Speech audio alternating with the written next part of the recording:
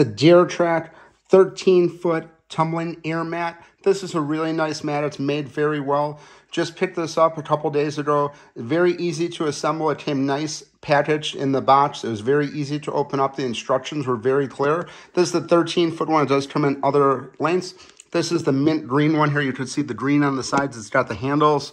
And then these are the accessories that it comes with right here. This is the user manual. This is the pump with the fitting right here. This is a repair kit. It's got some extra uh, materials in case you have a, a leak on here. And then this is the bag to store it up in here. This is where the air goes in right here. Very easy to, uh, to get it set up. This took probably less than 10 minutes once the box was open to get it assembled, and it's just a really nice, high quality mat. Definitely want to check this out. Again, this is the 13 foot mint green one. Highly recommend this mat. It's really nice, high quality materials.